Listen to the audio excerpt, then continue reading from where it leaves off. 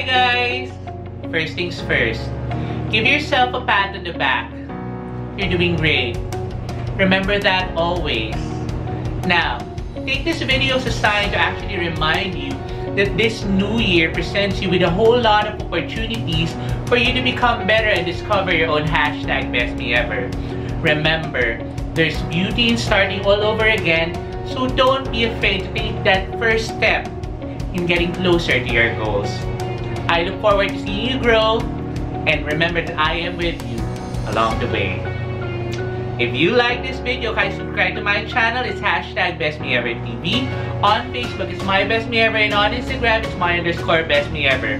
Don't forget to get a copy of my book, hashtag Best Me Ever, from National Bookstore and Firebook branches nationwide.